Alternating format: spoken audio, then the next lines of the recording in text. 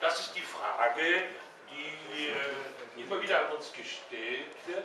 Ja, woher wisst ihr das? Oder wie sieht man hier im Gelände, wie sieht man den Proben, wie belegt man das, dass wir es hier mit einem großen Meteoriteneinschlag zu tun haben? Ich will da äh, nicht äh, hier noch nicht auf Einzelheiten eingehen, sondern nur kurz einen Überblick geben. Es gibt international anerkannte Kriterien der Wissenschaften. Nach dem gegenwärtigen Stand von Wissenschaft und Technik, so muss man das immer nennen, es kann sein, dass in zehn Jahren die Wissenschaft manches anders sieht, aber zum gegenwärtigen Stand der Wissenschaft ist zu sagen, äh, Kriterien sind morphologische, also Geländeformen, für einen Meteoritenimpact, klar geologische Eigenheiten, geophysikalische Messungen, Ergebnisse geophysikalischer Messungen, dann natürlich im Labor Analysen unter Mikroskop, unter Elektronenmikroskop, mineralogisch-petrographische Untersuchungen, geochemische Untersuchungen. Äh, das sind also die Kriterien, mit denen man an so eine Geschichte heranzugehen hat. Und äh, hier äh, bedroht hervorgehoben, schon wenn nur eines der folgenden Kriterien äh, erfüllt ist, ist ein Impact nach dem gegenwärtigen Stand der Wissenschaft, ein Impact nachgewiesen. Und das ist vor allen Dingen an erster Stelle zu nennen eine Schockmetamorphose, geschockte Minerale. Ich gehe gleich da etwas näher darauf ein. Äh, ja, steht es ja auch an mehreren Stellen, es ging nur um Praxis nachweisbar. Trotzdem, ich gehe noch etwas näher darauf ein. Reste des Meteoriten, wir nähern uns immer mehr dem Punkt, äh, wo wir sagen können, wir haben Reste von dem Meteorit, wir finden Reste von dem Meteorit und können das auch belegen. Und natürlich, wenn man das Ding hat selbst herunterfallen sehen, dass in gewisser Weise äh, oder möglicherweise eben in diesen schon genannten Mythos äh, über den Phaeton eingegangen ist. Dann weitere Kriterien, die nicht einen Impact direkt belegen, aber mit großer Wahrscheinlichkeit darauf hindeuten, das sind einmal Kraterstrukturen, also Krater mit einem Ringwall, äh, dann spezielle geophysikalische Anomalien, nicht wenn da so ein Ding äh, reinhaut mit enormer, enormen äh, Drücken und Temperaturen, dann ändern sich die physikalischen Eigenschaften im Untergrund. Das kann man dann mit geophysikalischen Messungen erfassen und entsprechend deuten.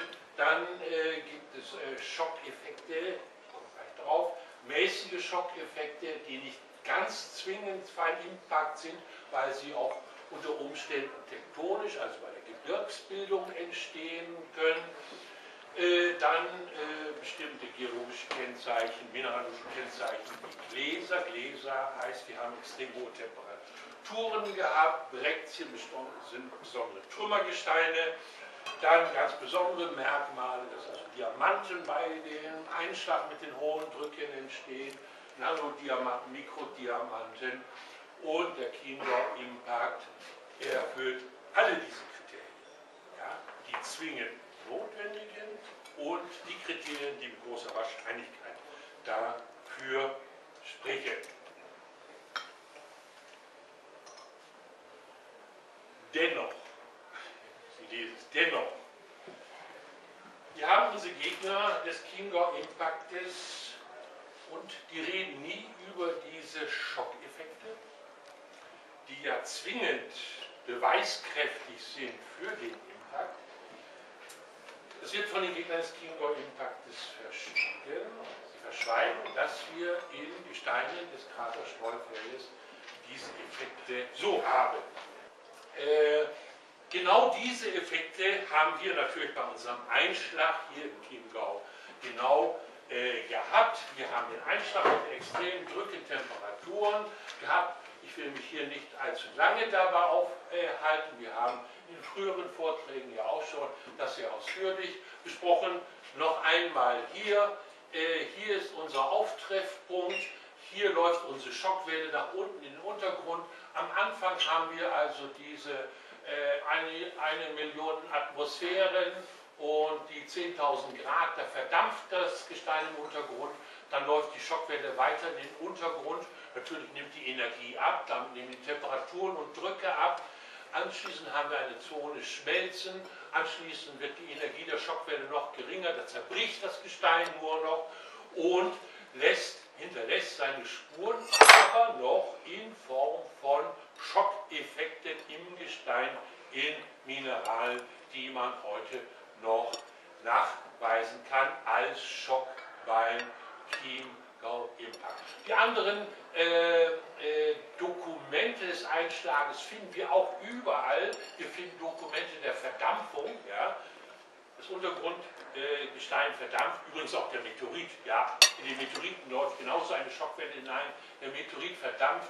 Deswegen, wenn wir im Tüttensee bohren würden, wir würden da nichts mehr finden, weil der verdampft ist der Methodik. Aber wir finden noch von der Verdampfung, finden wir natürlich noch Spuren, denn der Dampf, der entweicht als große Explosionswolke nach oben, der Dampf kondensiert und regnet ab in Form von Gläsern und die finden wir heute als Ruhen, als kleine Kügelchen, Glasmetall, Kohlekügelchen, hier so ein Beispiel aus der Ausgrabung in Stöttham. Das ist die Dokumentation des Verdampfens. Wir haben die Dokumentation des Schmelzens in Form von Gestein, geschmolzenen Gestein, jede Menge geschmolzenen Gestein. Typisches Beispiel ist der Bimsstein vom äh, Tüttensee, vom Chiemsee, die sogenannten Schwimmsteine, die, äh, früher, mit denen früher die Kinder gespielt haben. Das sind typische Impact-Schmelzgesteine, auf keinen Fall bitte verwechseln mit äh, Archäologen äh, verwechseln äh, diese Impact-Schmelze mit der Eisenschlacke der Maxhütte. Das ist natürlich etwas völlig anderes und darf überhaupt nicht miteinander verwechselt werden. Das Zerbrechen der Gesteine sehen wir eigentlich überall im Umfeld der Krater. Und jetzt kommen wir zum wesentlichen Punkt, nämlich zum Schock in Mineralen und Gesteinen. Äh, wir finden diesen Schock, diesen, äh, dieses Dokument der Schockwelle, die Mineralen, finden wir in unserem Streufeld im Norden bei Altötting im Krater 004. Wir finden es in reichlicher Menge am Tüttensee, in Gesteinen vom Tüttensee-Ringwall, bei unseren Ausgrabungen und wir finden Schockeffekte in Mineralen. So, es gibt weitere Schockeffekte, wenn die Drücke dann noch höher werden, dann passiert in einem Quarzkorn, dass unsere Glaslamellen bei höheren Drücken wachsen diese sogenannte Isotropisierung, diese Glasbildung wächst zu schwarzen Flecken, aus den schwarzen Linien werden dann schwarze Flecken, die dann wie ein Glas äh, äh, ausschauen. Und wenn die Drücke noch höher sind, noch viel höher als 100 Kilobar, also noch viel höher als 100.000 Atmosphären, dann kann ein ganzes Quarzkorn zu Glas werden. Und das nennen wir ein diaplektisches Glas, äh, das in Quarz als Feldspat bilden kann im Gesteinsdünnstück. Unter dem Polarisationsmikroskop können wir das sehen und wir haben den Nachweis von noch viel höheren Drücken, wesentlich höher als äh, 100 äh, Kilowatt. Ja? Das heißt, mit zunehmenden Schockdrücken, Glaslamellen, Glasflecken und schließlich ein vollständig diaplektisches Glas, äh, zu dem der Quarz geworden ist. Ja, wir brauchen große Erfahrungen im Umgang mit Schockeffekten und hier muss man sagen, dass im Gegensatz zu vielen Leuten, die sich äh, über Schock äh, äußern und äh, meinen, dazu einen Kommentar abgeben zu müssen oder keinen Kommentar abgeben zu können, das ZIRP hat diese Erfahrung in der Untersuchung von Schockeffekten. Wie sehen die tatsächlich dann im Bildstück aus? Das sind Mikroskopbilder. Wir sehen hier, Sie sehen hier die schwarzen Linien, nicht? Hier ein System, hier ein zweites System. Nicht? Das sind die Kristallflächen, die sich dann schneiden im Quarz. Und äh, Sie sehen ja am Maßstab mit 200 Mikrometer, Fünftel Millimeter ist das hier. Das sind also ganz feine Lamellen. Hier auch im Krater 004 haben wir auch Glas in unserer Probe. Dann hier vom, aus einer Probe vom Tüttensee Ringwall fünf Systeme von Planar Deformation Features im Quarz. Und hier zum Vergleich, Sie sehen eben, wir kennen das von anderen Meteoritenkratern auf der Erde. Moment. äh, Nördlinger Ries, Charleroi ist ein großer alter Krater in Kanada, Poppyguy ist ein jüngerer Krater, 100 Kilometer Durchmesser in Russland. Nicht, Sie sehen überall immer diese äh, Planaren, diese Lamellen. Hier Rochechouart, äh, Frankreich, 200 Millionen Jahre alter Krater. Dann andere Schockeffekte hier wieder vom Tütensee, Schock im Felsspat, andere Schockeffekte, auch andere Minerale, Glimmer können auf Schock reagieren, Kalzit, Kalkspat kann auf Schock reagieren. Auch da entstehen solche Lamellen, die eben charakteristisch sind für Schock. So, und da kommen wir jetzt nochmal zu unserer Frage, warum verschweigen die Gegner des Chiemgau Impactes unsere Schockeffekte? Nun, das ist ganz einfach. Sie können es lesen. Schockeffekte beweisen nach den internationalen Impactforschung gültigen Kriterien einen meteoritischen Einschlag. Sie beweisen es. Nach dem Gegenstand, gegenwärtigen Stand der Wissenschaft beweisen Sie, dass hier im Chiemgau dieser Impact stattgefunden hat, dieser meteoritische Einschlag stattgefunden hat. Schockeffekte dieser Art sind aus anderen geologischen Prozessen nicht bekannt, weil die notwendigen Drücke fehlen, vor allen Dingen aber auch die Deformationsgeschwindigkeit. Drücke haben wir auch, ja, wenn die Alpen schieben und sich Gebirge äh, auf, äh, aufwölben, dann entstehen auch Drücke, zwar nicht so hohe Drücke, aber das geht ganz langsam. Wichtig für Schockeffekte ist eben diese Deformationsgeschwindigkeit. Nicht 20.000 Meter pro Sekunde. Ja? Das ist das Entscheidende für den Schock. Und deswegen weil das so ist, weil wir hier diesen Nachweis für den Impact haben, ist mittlerweile seit, weiß ich, zwei Jahren oder so, zwei, drei Jahren, der Tüttensee mit seinen Kratern der Umgebung ist in der internationalen äh, Datenbank hier von dem Tsunami-Labor in Russland, wird neben dem Nördlinger Ries, dem Steinhaler Becken, als dritter deutscher Meteoritenkrater mit der Klassifizierung 4, 4 als Tun bewiesen geführt.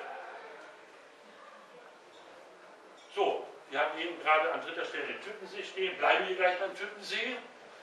Äh, und ich will das noch ein bisschen erläutern, was in den Vorreden ja schon angesprochen wurde, die Datierung vom Landesamt mit äh, dem, äh, mit dem äh, Artikel, der da heute, Artikel, Gegenartikel äh, die da heute erschienen sind. Äh, Tüttensee einmal noch wieder kurz eingehen auf die nicht tot zu kriegende Toteishypothese für den Tüttensee und dann die Datierung des Landesamtes für Umwelt. Fangen wir an mit nochmal mit dem äh, Toteis. Die alte Ansicht äh, seit Generationen war ja die, und ist bei manchen Geologen bis heute noch die Ansicht, dass äh, der Tüttensee ein Relikt aus der Eiszeit ist und beim Rückzug der Gletscher äh, durch die Eisschmelz entstanden ist. So, dazu gibt es ganz äh, moderne Ansichten. Zum Beispiel, Sie lesen hier erschien eine Arbeit, ein Buch in Berlin 2007 von dem Eiszeitforscher Martin. Und dieser Eiszeitforscher Martin geht mit Geologen und Geografen hart ins Gericht, wenn es um diese Toteislöcher geht. Ja, er nennt das, die Toteislöcher sind eine Spekulation seit Generationen, ohne Beweis für eine Glazialtätigkeit, also ohne Beweise für, dafür, dass die Eiszeit diese Löcher je gemacht hat. Spekulation ohne Beweise. Und das ist bis auf den heutigen Tag nicht anders. Der Tüttensee und die angebliche Eiszeitbildung ist eine reine Spekulation. Es gibt keine Beweise dafür, weder durch Bohrungen noch durch Schützen. Es gibt keine Bohrungen im Tüttensee, nicht? Man müsste ja heute das Eis vielleicht noch finden. Aber kurzum, äh, äh, aber kurzum, das ist genau der Punkt. Wir haben keine Beweise. Das ist eine Spekulation, dass der Tüttensee ein Toteisloch ist. Es gibt keine, keinen Befund, keine Untersuchung, gar nichts. Doktorarbeit stehen. Mhm. Und dann gibt es eine Doktorarbeit, die schon etwas länger zurück, aus dem Jahr 1900. 1970 äh, von Gara Reis. Der hat sich nebenbei einmal mit der Eiszeitregion hier in Chiemgau beschäftigt und nebenbei auch, auch äh, mehr oder weniger in der Fußnote auch Stellung äh, genommen zum Schöttensee Ringwall. Und in dieser Doktorarbeit lesen wir Aufbau und Form der Terrasse. Er nennt den Ringwall eine Terrasse, das äh, da sozusagen ein geografischer Begriff, den er da einführt. Äh, er sagt, Aufbau und Form der Terrasse sprechen gegen eine Entstehung durch glaziale oder fluvioglaziale Prozesse. Glaziale Prozesse, Eiszeitprozesse, also Gletscherprozesse, fluviale, fluvioglaziale Prozesse sind äh, Eiszeit, also äh, Gletscher, Schmelzprozesse. Neutral, ja, Fluvio für ja, Fluss. der hatte Ja. nichts gewusst, da muss Nochmal Aufbau und Form sprechen gegen eine, gegen eine Entstehung durch glaziale, äh, glaziale Prozesse. Dann weiteres Zitat, gegen eine Moräne, also gegen eine Eiszeitablagerung, sprich das Substrat des Ringwalles und der Böschungswinkel von stellenweise über 60 Grad verbietet die glaziale Genese. In dieser Doktorarbeit steht, dieser Ringwall die verbietet eine glaziale Genese. Seinen Messungen. Allerdings nur eine Fußnote. Das ist sehr im Kontrast, Kontrast zu den lokalen Geologen und zu war Geologen. Landesamt der Welt. Der Gareis hat im Rahmen seiner Doktorarbeit Befunde, die sagen, dass äh, der Tüttensee, der Ringwall mit der Eiszeitbildung nicht verträgt. Plus kurios, plus kurios, dass genau diese Gegner auch die Arbeit von Gareis zitieren, in ihrem Sinne sozusagen, Herr Gareis äh, spricht sich für äh, äh, die Thomasgenese aus. Offenbar haben unsere Geologen hier diese Arbeit aber nie gelesen. Da hätten sie das auch eigentlich lesen müssen. Ich wiederhole es nochmal. Verbietet die glaziale. Kommen wir zum nächsten Punkt, die Datierung des LFU. Das hat ja vor Jahr ziemlich viel Wirbel äh, äh, erregt. Ich wurde morgen schon beim Frühstück von der deutschen Presseagentur angerufen, Herr Ernstsohn, also was ist da los? Was ist denn jetzt in der Tüttensee kein Meteoritenkrater mehr, das LFU? Also beim Frühstück wurde ich da schon angerufen und sehen, die Presse hat äh, namhafte und äh, ja, namhaft, äh, zumindest vom Namen her. äh, es wurde im Spiegel, Welt, Berliner Morgenpost, äh, überall wurde berichtet über dieses neue Ergebnis. Was war der Sachverhalt? Geologen vom Landesamt für Umwelt äh, also die geologische Abteilung am Landesamt, die zieht einen Bohrkern am Tüttensee an den Proben. Sie ziehen Torfproben, Sedimentproben, machen sie eine Radiokarbondatierung, eine C14, datieren und sie datieren, das wurde ja vorhin schon mal kurz angesprochen, sie datieren die älteste Probe ganz unten aus der Bohrung in ein Späteis, in ein Späteis, einem Späteiszeitalter. Sofort kam dann die Pressemitteilung des LFU, worauf hier äh, die Medien sofort reagiert haben. Äh, und in dieser Pressemitteilung des LFU heißt es, äh, das Alter der Proben vom Kesselboden beweist, dass ein Impact nicht stattgefunden haben kann. Der spätere Einschlag müsste die Probe zerstört haben. Soweit, so gut. Dazu kann man zunächst mal nichts sagen. Nur, Kesselboden, mit dieser Formulierung muss man sagen, ich erkläre das gleich noch genauer, hat das LFU wirklich die seriöse wissenschaftliche äh, Argumentation verlassen. Wir haben eine Gegenstellung äh, äh, veranlasst und äh, auch noch andere ähm, äh, äh, Dinge in der Pressemitteilung vom LFU gar in unserer Gegendarstellung das irreführend und polemisch äh, äh, update, was steckt dahinter. Äh, hier sehen wir nochmal das Bild vom Tüttensee mit dem Ringwald. So, ich frage Sie, Kesselboden nach allgemeinem Sprachverständnis ist, wenn wir hier den Kessel haben, muss doch der Kesselboden irgendwo hier sein. Ich glaube, das sind uns alle Kesselboden, ein Kesselboden ist da ganz unten und liegt im tiefsten Kessel. Tatsächlich hat das Landesamt, das LFU, aber gar nicht, noch nicht mal im Wasser gebohrt, sondern am Ufer, am festen, äh, auf festem Land am Ufer gebohrt. Der eine Punkt, also die Irreführung durch das LFU, sie haben überhaupt nicht am Kesselboden, wie behauptet in der Pressemitteilung, sondern am Rande, äh, gebohrt. Sie haben genau dort gebohrt, wo wir vom ZIRP, nicht Dr. Suckhaus, der Professor Friedmann von der Universität Augsburg haben da gebohrt. Äh, die haben genau da schon äh, gebohrt und wir kannten schon die geologische Schichtung äh, an diesem, ja, äh, was vorhin schon genannt wurde vom, äh, von unserem Vereinsvorsitzenden, vom Sepp Vonhäuser, nicht die Bohrung äh, hat den Steuerzahler Geld äh, gebracht, äh, sie hat nichts Neues gebracht, das wussten wir schon alles. Und man muss dem Landesamt den Vorwurf machen, hätten sie vorher zu uns Kontakte aufgenommen, hätten gesagt, hört mal Leute, wir wollen da bohren. Ja? Wisst ihr da schon was? Habt ihr da vielleicht Geophysik gemacht? Können da gemeinsam vielleicht irgendwie ran? Nein, wir wurden also wirklich von der Pressemitteilung wirklich äh, überrascht. So, ein Punkt ist noch zu klären. nicht? Also das ist erstmal klar, nicht? das ist eine absolute Irreführung des Lesers, äh, wenn man hier vom Kesselboden spricht.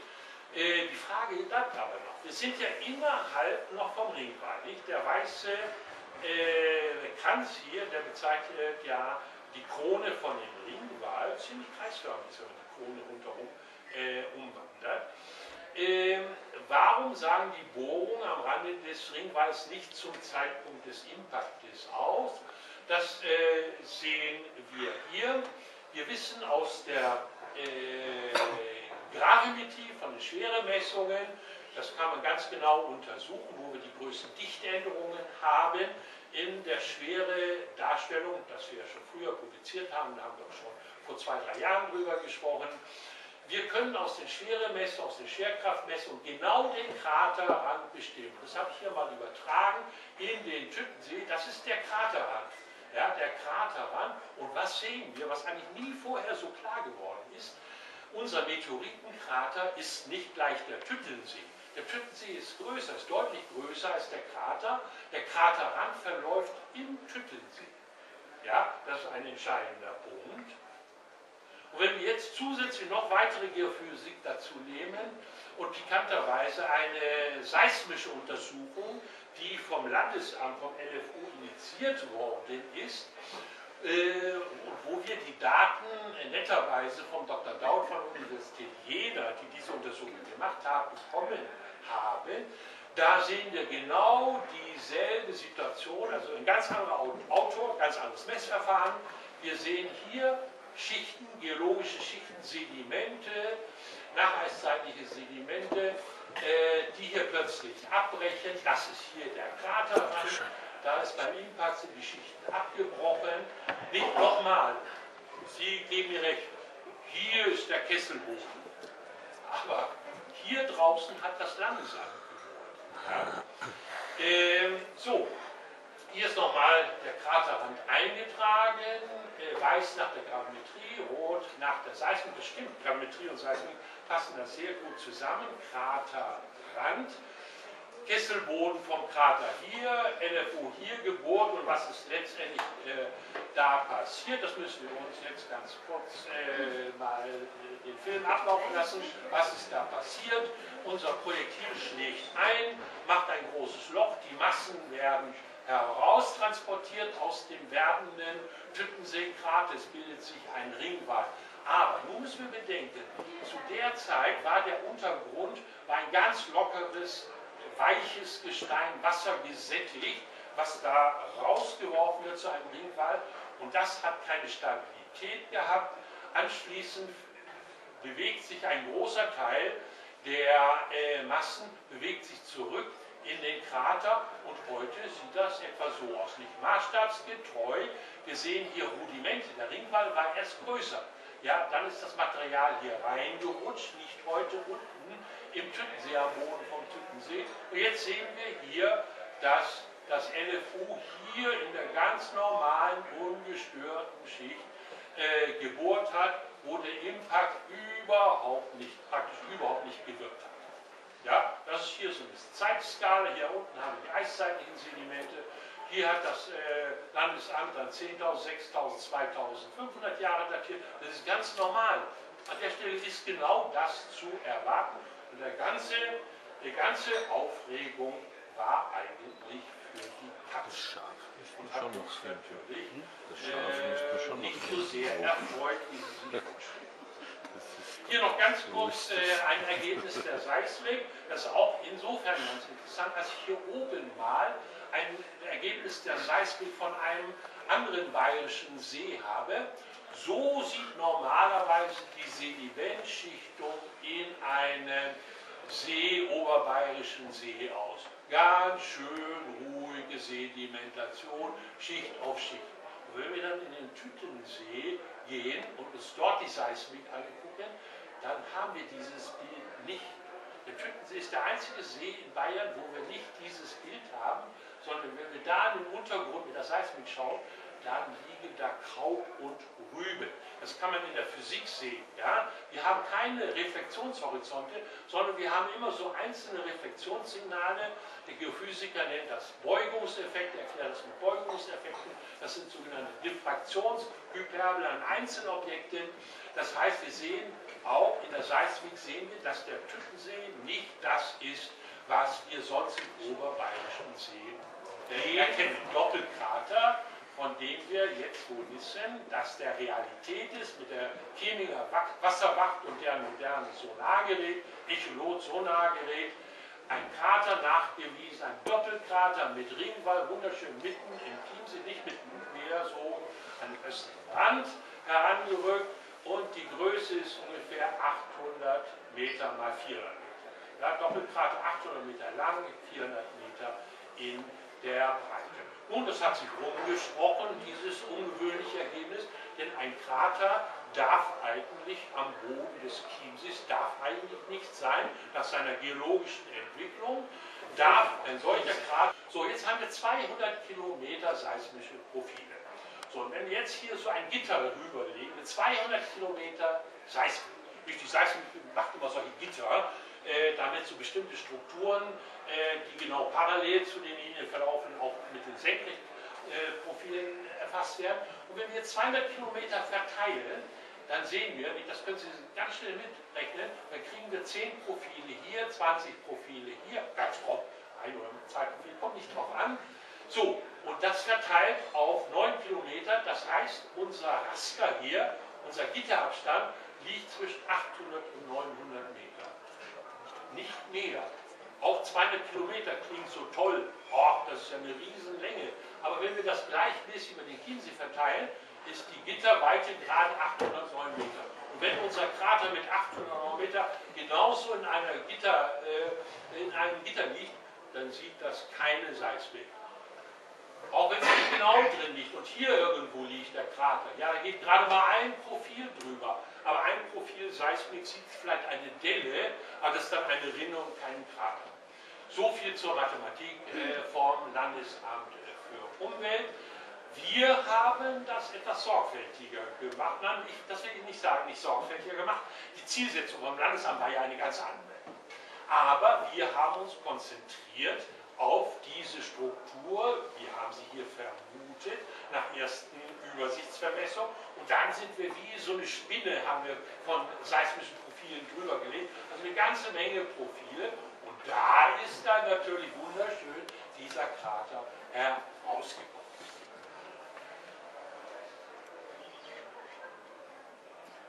Ah, das ist wieder da.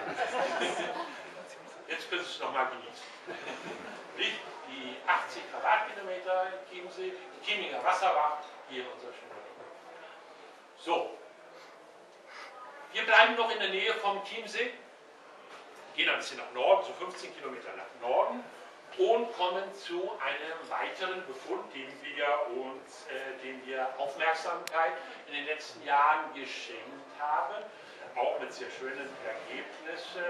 Äh, spannende Ergebnisse. Es geht um die wohlbekannten Donnerlöcher äh, mit einer Konzentration hier bei Kienberg, nördlich vom Chiemsee, hier eine Konzentration. Diese Donnerlöcher äh, ziehen sich dann hier aber auch noch in gewissen Schwerpunkten nach Traunreuth drüber. Was sind die Donnerlöcher? Donnerlöcher sind Einbrüche im Untergrund, ganz plötzlich, über Nacht, meistens über Nacht. Äh, aber das ist auch nur eine Vermutung, weil sonst niemand vielleicht äh, das äh, da, tagsüber da gewesen ist, um das genau zu beobachten. Jedenfalls häufig, äh, man kommt irgendwann am Morgen hin und mitten hier auf einer Baustelle, ja, das ist eine Straßenbaustelle, ist plötzlich ein Loch da. Dieses Phänomen ist bisher immer ein Rätsel, ein großes, großes Rätsel gewesen. Die Einwohner im Bereich Kienberg sagen, so seit Menschengedenken kann man schätzen, dass vielleicht um die 1000 Donnerlöcher eingebrochen sind. In den letzten 20 Jahren haben Ortsheimatpfleger und interessierte Leute auch dokumentiert. Das sind also Donnerlöcher nur im Bereich Kienberg der letzten 20 Jahre. Wir haben so Stellen, wo die sich häufen. Es ist bis auf den heutigen Tag ein Rätsel gewesen, wie die entstehen. Dieses Rätsel haben wir gelüftet, das schon mal vorweg, Sie lesen es ja auch. Selbst für Geologen, sämtliche Geologen, die sich natürlich auch am Kopf gekratzt haben und gefragt haben, ja, was, was passiert da eigentlich, ist das immer ein unerklärliches Phänomen gewesen und da sie keine andere Erklärung, eigentlich überhaupt keine Erklärung hatten, meinten sie, das ist wohl irgendetwas, was mit der Eiszeit zu tun hat. Das scheint eine Methode zu haben, wenn man nicht mehr weiterkommt, ist es die Eiszeit. Wir haben uns diesem Phänomen nicht nur mit Spekulation genähert, sondern wie es in der Wissenschaft üblich ist, mit Experimenten, detaillierten Analysen, Untersuchungen und das hat so ausgesehen. Wir haben zwei in jüngster Zeit eingebrochene Donnerlöcher bei Herzham, bei Kienberg, haben wir mit aller Kunst, die die Geologie und die Geophysik zur Verfügung stellt, haben wir untersucht. Wir haben nicht spekuliert, sondern wir sind da runtergegangen. Wir haben die Donnerlöcher, die eingebrochenen Donnerlöcher, haben wir aufgegraben. Sie sehen, ziemlich viel Aufwand, große Löcher und da unten haben wir unsere Geologie gemacht, uns das genau angeschaut. Dann haben wir noch ein drittes Donnerloch, was noch kein Donnerloch ist, aber mit Sicherheit demnächst eins werden wird. Auf der Wiese hier beim Weiler Mörren beobachtet man seit etwa zwei, drei Jahren, wie sich der Boden mittlerweile bis zu 30, 40 Zentimeter abgesenkt hat. Und man kann prophezeien, äh, vielleicht nächste Woche, vielleicht aber erst in fünf Jahren, haben wir hier ein Loch, ein Donnerloch, was eingebrochen ist. Aber ehe das passiert, haben wir gesagt, das untersuchen wir mal, ehe es eingebrochen mit der Geophysik. Wir schauen also mit geophysikalischen Messungen im Untergrund und schauen hier, das sind die Ergebnisse der Geophysik, da will ich jetzt nicht drauf eingehen, aus einem ganz bestimmten Grund will ich da nicht weiter drauf eingehen. Hier nochmal oben ein Blick in so ein aufgegrabenes Donnerloch, eins von diesen, von diesen großen Gruben. Wir sehen da unten Hohlräume, das sind Hohlräume im Untergrund und irgendwann ist auch klar, irgendwann brechen diese Hohlräume ein und das brauchst du bis nach oben äh, durch. Und nun ist ein ganz interessanter Punkt, der uns eigentlich auf die Spur gebracht und das ist die Spur, äh, dass die Donnerlöcher nicht nur im Chiemgau bei Chiemberg gibt, sondern Donnerlöcher gibt es auch in Amerika.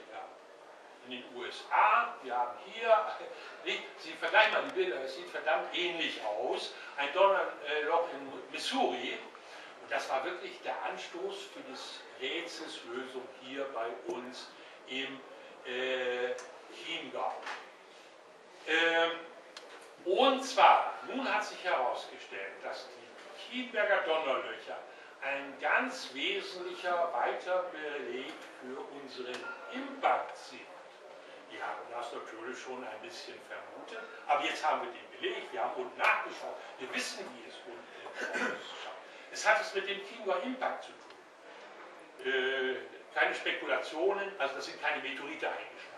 Ja? Mit Meteoriteneinschlägen, mit den Einschlägen hat es gar nichts zu tun. Mehr möchte ich hier nicht äh, verraten. Den nächsten Punkt kehren wieder an den Chiemsee zurück vom Nord- und Chiemberg und kommen zu den Furchensteinen vom Chiemsee. Das ist ja eine Geschichte. Hirnsteine heißen sie auch. Wir sehen schon warum. Äh, das ist eine besondere Skulptur von Geröllen, die wir am Chiemseeufer oder zum Teil auch im Chiemsee finden. Ich kenne Leute in München, die auf ihrem Kaminsims Furchensteine liegen haben, wo, wo, sie schon, die Leute schon vor 30 Jahren äh, aus dem Chiemsee diese Steine herausgeholt haben und gesagt, ja, das sieht ja eigenartig aus. Und die Skulptur ist ja auch eigenartig. Äh, Furchen, Hirnsteine heißen sie. Also diese besondere Oberflächenskulptur ist der entscheidende Punkt.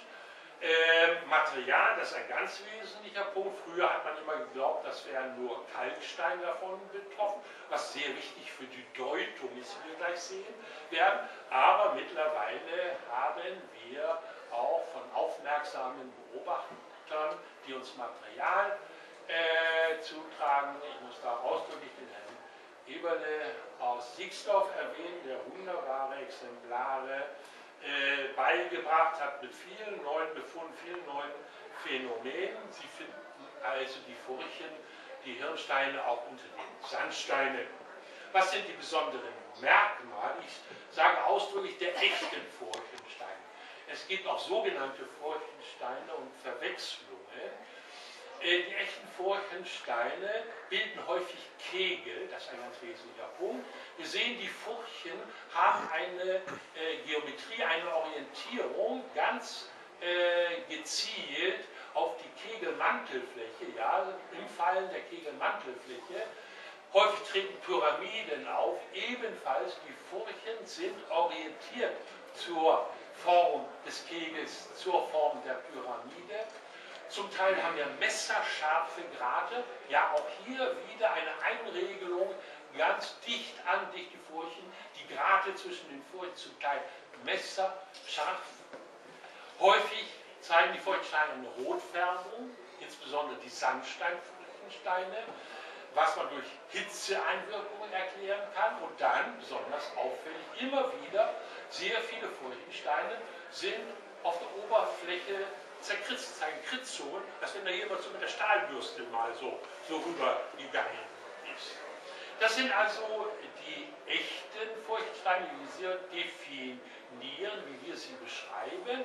Und äh, diese Furchtsteine werden unglücklicherweise äh, doch häufig in einen Topf geworfen mit Formen, die so ähnlich aussehen. Aber sie sind was anderes. Sie sehen hier ein Bild das ist aufgenommen worden von äh, Dr. Huber, der ist Theologe hier aus der Region und er nennt das einen Vorstein und wir weisen aufdrücklich äh, darauf hin, entfernt ähnlich, auch hier dieses Exemplar aus einer älteren Studie vom Bodensee sieht ähnlich aus, aber es sieht eben nur ähnlich aus und in der Wissenschaft muss man genau hinsehen. Und das haben wir äh, gemacht.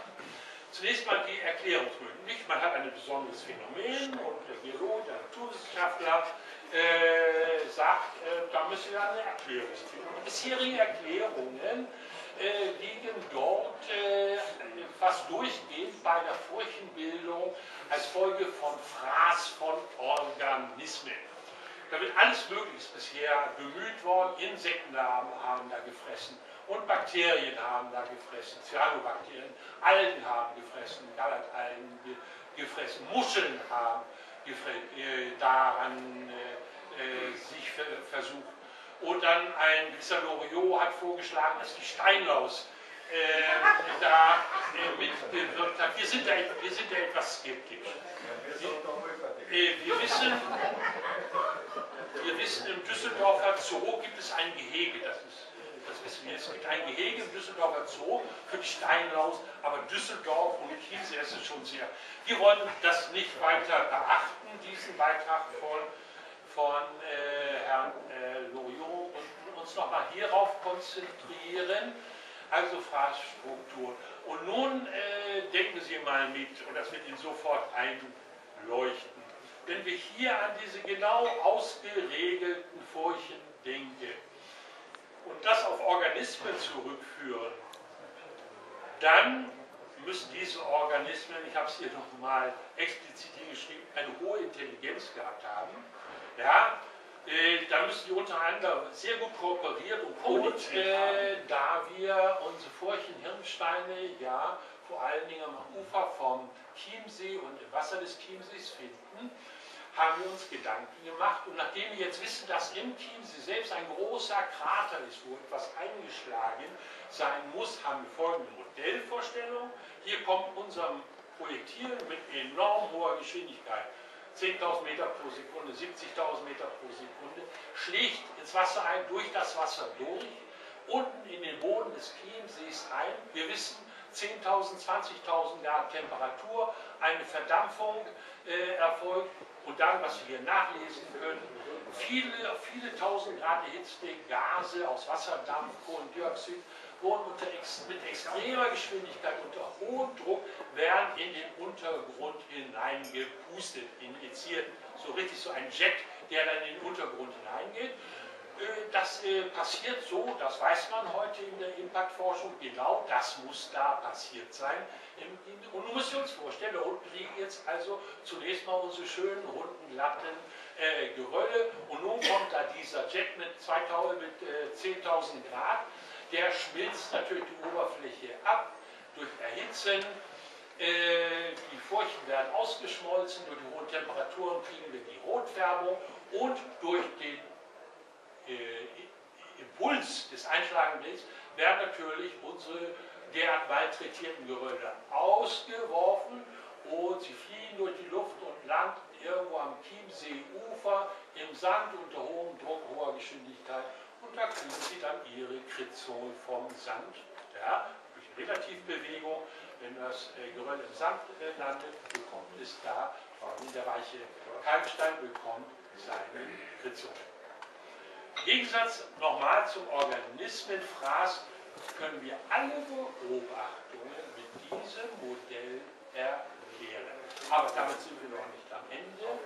Feuchtsteine gibt es auch ganz woanders.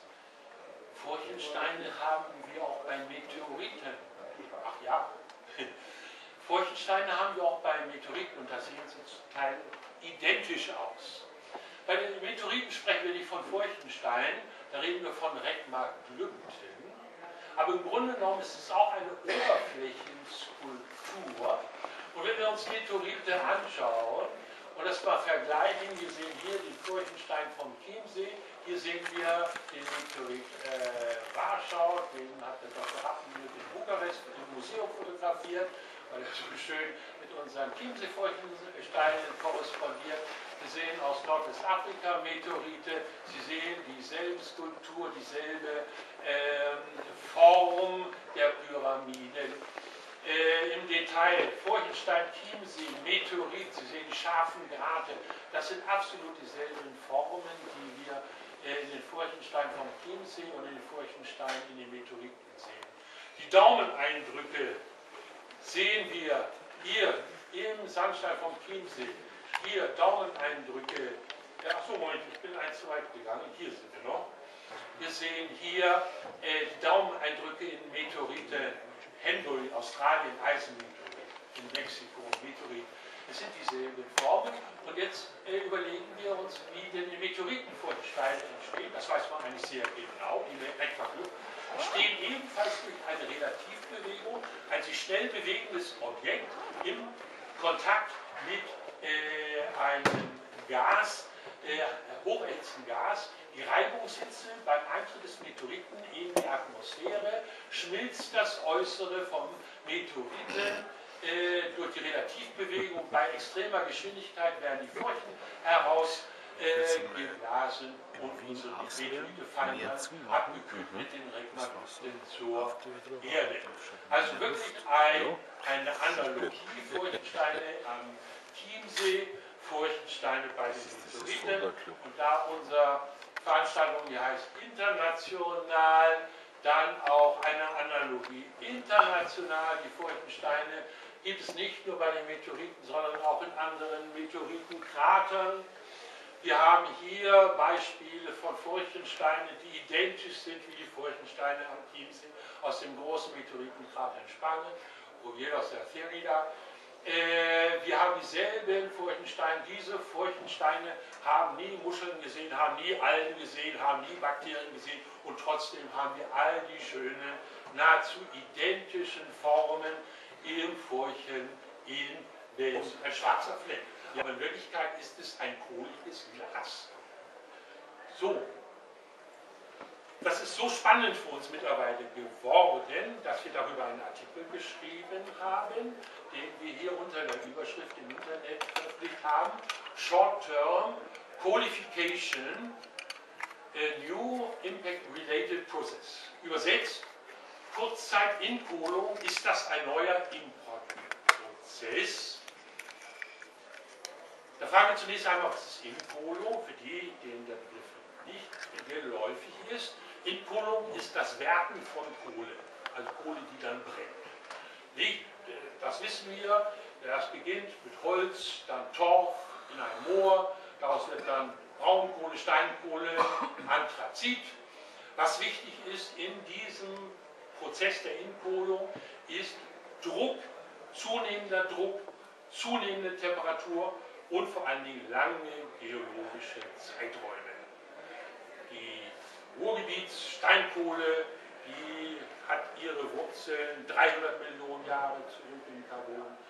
Die mitteldeutsche Braunkohle ist 30 Millionen Jahre alt. Also lange geologische Zeiträume, Druck, Temperatur die machen dann aus dem Torf irgendwann den äh, Anthrazit mit dem hohen Brennwert. Und wenn man dann sogar noch einen Schritt weiter geht und den Druck und die Temperatur noch viel stärker erhöht, dann wird, verwandelt sich die Kohle in Kohlenstoffminerale, in die Minerale Graphit und bei noch höheren Drücken zu Diamant. Diamant ist nichts anderes als Kohlenstoff, Graphit ist nichts anderes als Kohlenstoff. Das war der Anstoß, jetzt mal über unsere kohligen Partikel nachzudenken, die ja auch nicht mehr brennen, also möglicherweise auch einen ganz hohen Grad der Inkohlung erlebt haben. Und woher haben wir hier oben uns im Chiemgau die hohen Drücke, die hohen Temperaturen? In unserem Impact.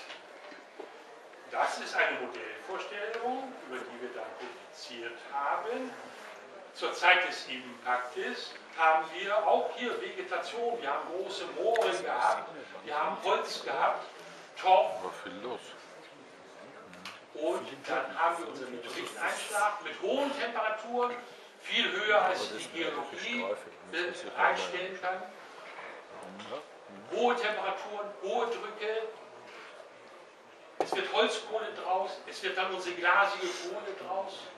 Und wenn wir noch höher gehen mit unseren Drücken, dann haben wir unsere Graphitkohle, ich das Wort Graphit geschrieben habe. Und schließlich haben wir unsere nanotierten Aktiven, unseren. Wie Sie sehen, da ist schon eine Analogie. Ja?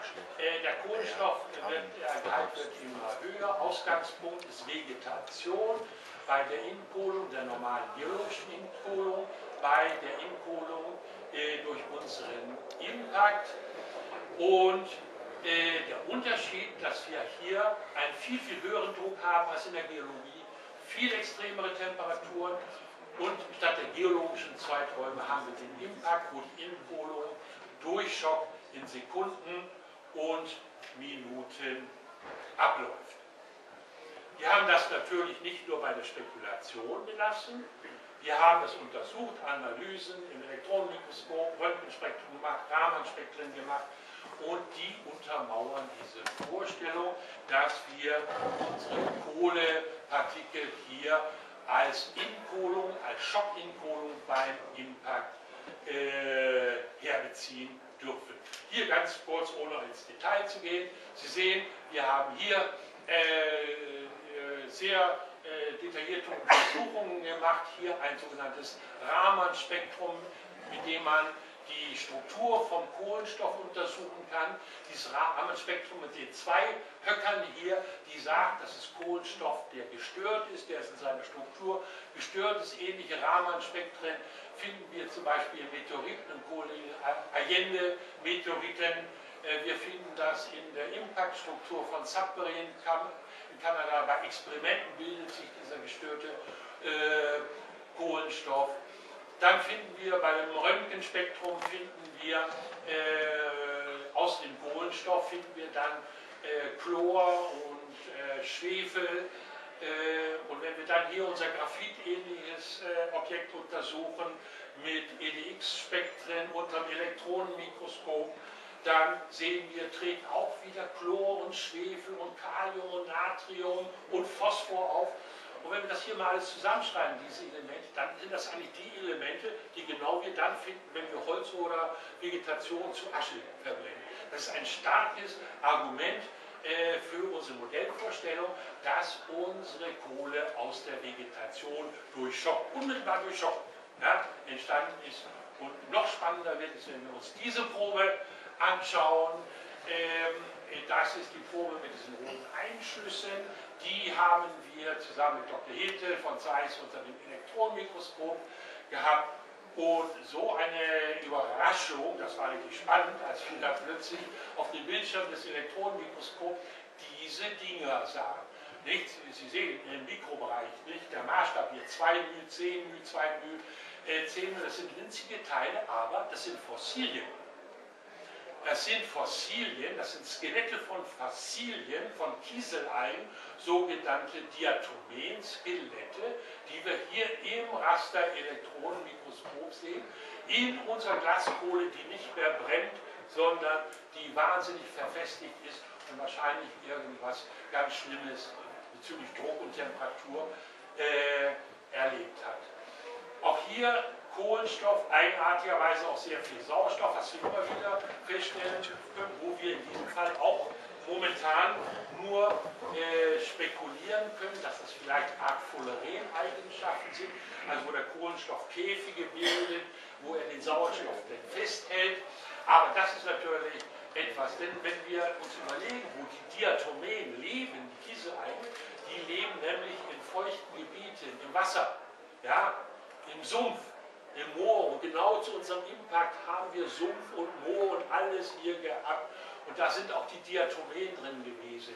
Und wenn wir das jetzt in unserem äh, hochinkohlten Glaskohlstoff finden, dann ist das ein sehr starkes Stück, dass wir tatsächlich hier einen Befund haben, der weltweit bisher, ich sage es ausdrücklich, einmalig ist, äh, den Hinweis, dass der Schock direkt aus Vegetation innerhalb von Sekunden hoch inkohlte Kohle produzieren kann, die wir heute aufsammeln. Damit bin ich hier am Ende. Äh, wir haben uns hier mit dem Kohlenstoff äh, beschäftigt. Ich gebe an den Michael Rappenböck, an den Dr. Rappenböck weiter, der beim Kohlenstoff zumindest partiell äh, bleiben will. Und ihr wisst, der Kohlenstoff ist ein wichtiger Element im äh, Kosmos und er wird Ihnen jetzt etwas aus höheren Sphären äh, berichten.